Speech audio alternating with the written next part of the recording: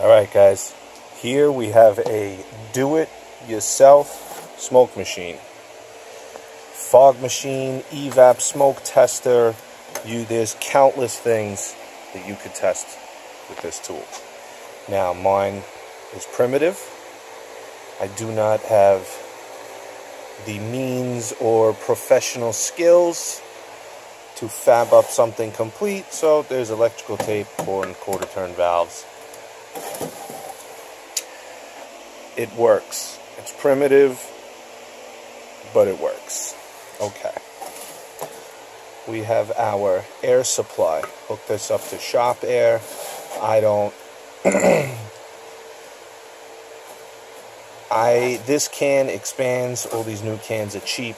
These cans expand, and what happens is once they start expanding, the cap doesn't make a good seal, and it starts blowing smoke out of everywhere. You want to go light anyway. I mean, you don't. If you're testing evap, you don't want to go more than two pounds. Um, I test my air intake with this. I went about five pounds it's not bad. It works very, very well. So we have some fittings. None of these are really that airtight.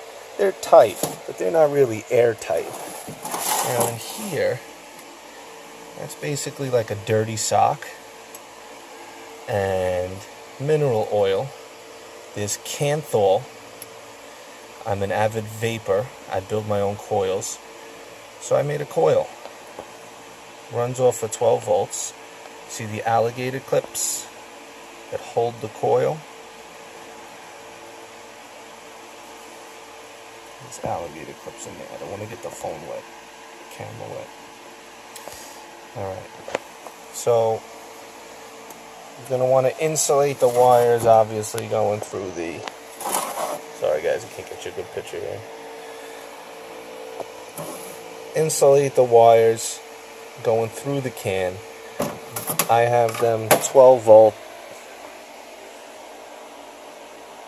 Let's try this. There you go. I have hooked up to 12 volts. I have that many X amount of Kanthal, alright? And I don't know, half a cup of mineral oil, baby oil works good. And you got your pressure supply and you got your cap. Tap that on there.